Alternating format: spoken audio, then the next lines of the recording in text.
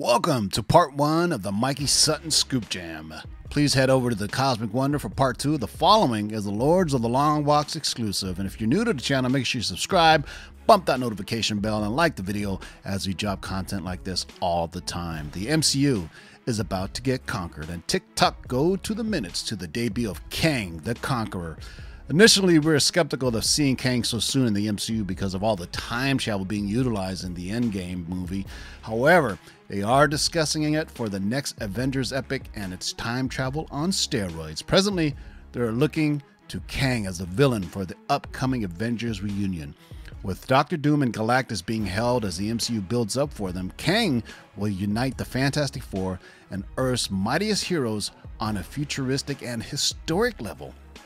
Half of them will be sent to 2099, while the remaining heroes will, are rocketed back to the Old West, beating the Two Gun Kid. How Iron Lad fits into this as is unknown, and only time will tell. How ironic. The reason why we say how Iron Lad fits into it is because Iron Lad is another version of Kang. Kang has different versions of him because he's traveled so much in time. His first appeared as Rama Tut in early Fantastic Four Silver Age, then as Kang the Conqueror in Avengers, then as Immortus in Avengers, then later on in the Young Avengers as Iron Lad. And if you've been following the channel, we've talked about how Doctor Doom and Galactus is going to be built up to be the really big MCU villains. When we say MCU villains, that means it encompasses the entirety of the MCU. All the Fox properties that are now X Men, FF, Avengers would all fight together against Doctor Doom and Galactus. This is an Avengers level threat, but it's also going to include the Fantastic Four because Kang has ties to both the Fantastic Four and the Avengers in the comics. So this is huge news.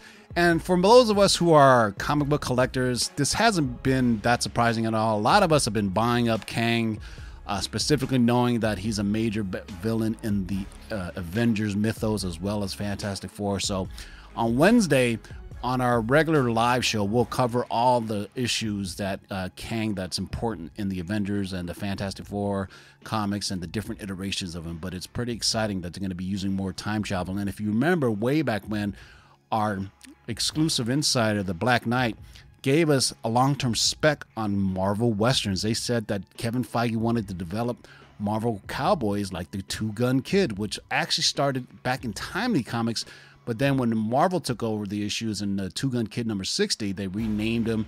And so now you have it all kind of tying together. This is kind of exciting that some of our long term spec is getting a bit more news now. So very, very cool.